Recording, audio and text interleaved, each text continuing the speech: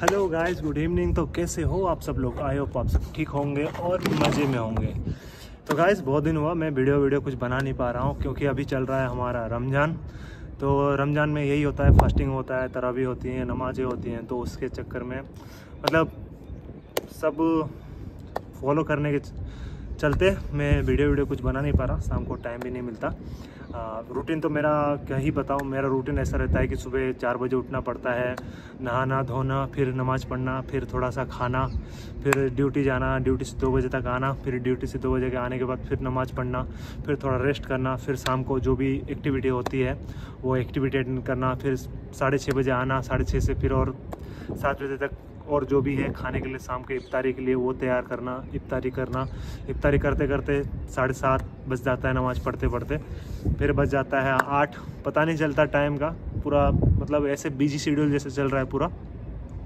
आठ भी बज जाता है, फिर आठ बजने के बाद फटाफट खा लेना, खा के थोड़ा घर में बात करना, साढ़े आठ बजे। फिर से नमाज़ के लिए चल देना। फिर तरावी पढ़ के आना तरावी पढ़ के आते आते साढ़े दस लगभग बज जाता है, ठीक है?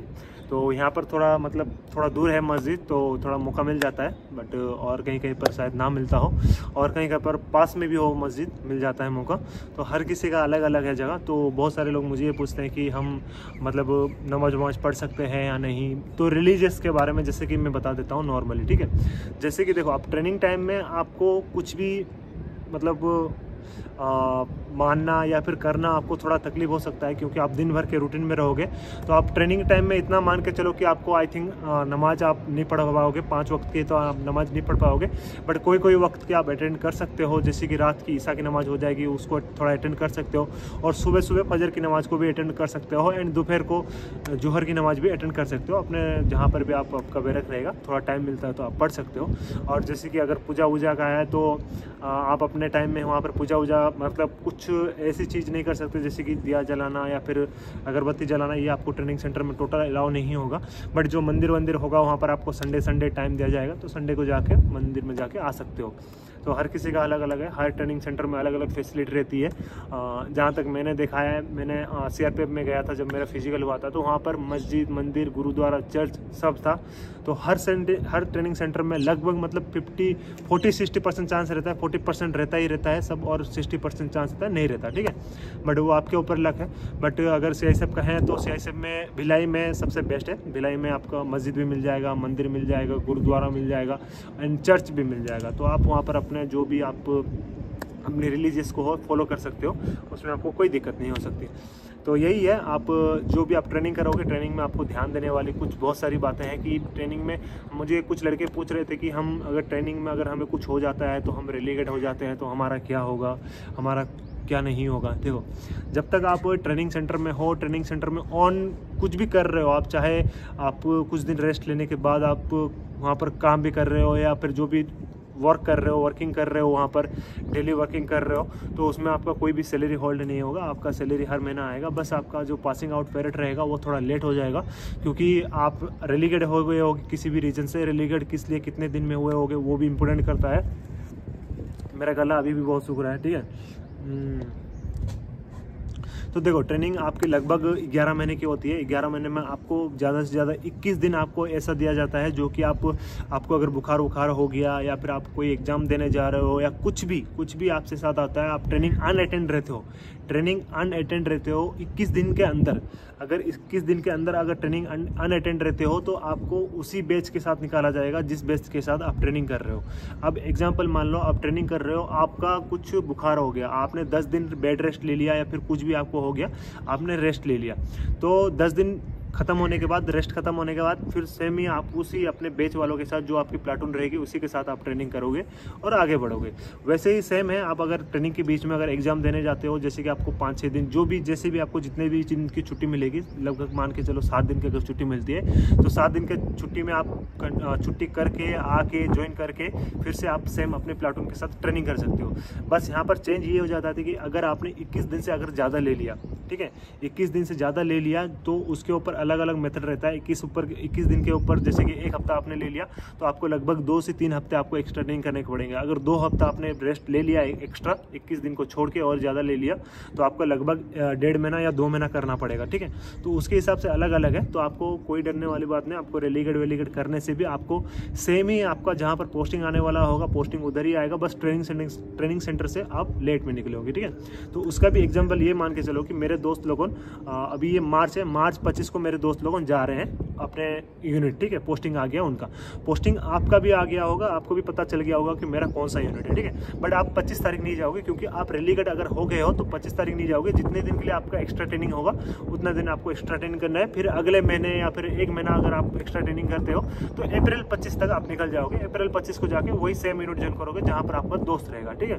बस ये है कि वो एक महीना ड्यूटी कर चुका होगा और आप एक महीना लेट में आप पहुँचोगे, वहाँ पर ड्यूटी करोगे। बस उसमें ही और कोई भी दिक्कत नहीं होता, ना आपका सैलरी रुकेगा, ना कुछ होगा। बस शर्त यह है कि अगर आप ज़्यादा, इक्कीस दिन से ज़्यादा सिक ले लेते हो तो आई थिंक वो आपका एचपीएल में करता है, जो हाफ़ पे लिए होता है ना, उसमें आपका दो दो छुट्टी करता रहता है, ठीक है? तो मैं छुट्टी के बारे में आगे जाके वीडियो में बताऊँगा तो आप समझ जाओगे। तो उसके लिए टेंशन लेने वाली बात नहीं। देखो, कुछ बातें मेनली इंपॉर्टेंट ये है कि आपको अपने आप को सेफ़ रखना है। बहुत सारे लोग ऐसे होते हैं कि जब उनका ज्वाइनिंग आने होता है, वो इंजर्ड हो गए होते हैं, कुछ एक्सीडेंट हो गया होता है। अभी क्या है, जवानी के चक्कर में जोश जोश बहुत रहता है, लेकिन अगर जिसके ऊपर ज़िम्मेदारी हो तो वो थोड़ा सतर्क रहे, संभल कर रहे, क्योंकि शौक के चक्कर में जवानी के ताकत के चक्कर में आप गलत कुछ कदम उठा बैठोगे तो उसकी भरपाई आपकी फैमिली करेगी। आपकी फैमिली को दिक्कत होगा। आपको कुछ भी दिक्कत नहीं होगा। आप तो बेड में पड़े रहोगे, आपके पास खाना पहुँच जाएगा। बट जो भी सफ़र करेंगे, आपकी फैमिली सफ़र करेंगी, उनको दिक्कत होगा। तो मेरा यही है कि सबसे रिक्वेस्ट यही है कि आप जैसे भी अगर बाइक वाइक रेडी करते हो, बाइक वाइक चलाते हो, ज़्यादा स्टैंड के मारने के चक्कर में मत रहो। अगर ज़्यादा नाइट भी ट्रैवलिंग मत करो। नाइट ट्रैवलिंग करने से भी बहुत सारे एक्सीडेंट हो सकते हैं। तो उससे दूर रहो। गाड़ी चला रहे वक्त मोबाइल वोबाइल का यूज़ मत करो। गाड़ी नॉर्मल स्पीड में चलाओ। ज़्यादा स्पीड में भगाने की ज़रूरत नहीं है। अगर पाँच मिनट दस मिनट आप कहीं पर भी लेट पहुँचते हो तो आपकी जान जाने वाले नहीं है। बट आपको लगता है कि यार मेरी इधर जान चली जाएगी, दस मिनट नहीं लेट पहुँचूँगा। तो उस शर्त में आप चला सकते हो। बट वो आपके ऊपर डिपेंड है कि आप किस हिसाब से चलाते हो, आप किस हिसाब से हैंडल करते हो हर चीज़ को। ठीक है? तो यही है। और बहुत सारी बात ये भी है कि बहुत सारे लोग ये बोलते हैं कि, सर मेरा सिलेक्शन हो गया, इसलिए मेरे बगल वाले ने मेरे ऊपर केस कर दिया है, वो मुझसे जलते हैं एंड समथिंग समथिंग क्या क्या बोलते रहते हैं, ठीक है? तो उसके ऊपर करना क्या है, आपको सबसे मिलजुल के रहना है, यहाँ तक कि आपके घर के बगल वाले से आपको अच्छा बॉन्ड बना के रखना है, ठीक है? ये मोस्ट इंपॉर्टेंट होता है गाइस आप चाहे एस में जिस भी डिपार्टमेंट में जाओ, या फिर सेंट्रल के कोई भी डिपार्टमेंट में जाओ, ठीक है? जब आप ट्रेनिंग सेंटर में रहोगे, आपको मतलब अगर आपको खुदा ना खास आपके घर में कुछ प्रॉब्लम होता है तो आप उसी टाइम नहीं पहुँच सकते। उसी टाइम मतलब पाँच छः घंटा, दस घंटा तक भी आप अपने घर नहीं पहुँच सकते। अगर घर में आपका कुछ इंसिडेंट होता है, फिर आपको पता चलता है, आप उधर जाके बोलोगे कि मुझे घर में ये प्रॉब्लम हो गया है, मुझे जाना है जैसे भी करके तो वो आपको लगभग एक दिन निकल ही जाएगा आपका, ठीक है? तो उससे अच्छा है कि आप अपने बगल वाले बगल वाले आसपास वालों के साथ अच्छा बॉन्ड बना के रखो। जो भी अगर अगर आपके घर में प्रॉब्लम होता है तो वो बगल वाले भी समझेंगे, यार, इनका लड़का तो ट्रेनिंग कर रहा है, देश की सेवा करने गया है। तो हमें इनकी फैमिली की मदद करनी चाहिए। तो वो मदद करेंगे। आप बेकार के दूसरों को दूसरे बगल वालों से आप लड़के, आप कुछ हासिल नहीं होगा। आपको कुछ हासिल नहीं होगा बट आपको बहुत नुकसान हो सकता है। अगर कुछ आपके घर में होता है, तब आप उनको बोल भी नहीं पाओगे। किस मुँह से बोलोगे कि आप उनसे अगर झगड़ा झगड़ा करके रखे हो तो आप उनको किस मुँह से बोलोगे कि, अंकल, आंटी, मेरे घर में थोड़ा ये प्रॉब्लम हो गया है, थोड़ा हेल्प कर दीजिए मेरे मोम डैड को, ठीक है?